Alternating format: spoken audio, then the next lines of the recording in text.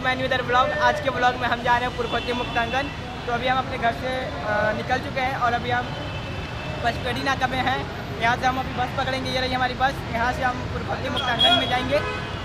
वहाँ पहुँचने के बाद आगे का दिखाता यार पुरखोती मुक्तांगन बहुत गजब प्लेस है। पूरा मतलब घूमने फिरने का जगह है। तो चलिए आपको भी ले चलते हैं, वहाँ पर दिखाते हैं। बहुत मज़ा आएगा, आप हमारी वीडियो में ज़रूर बने रहिएगा।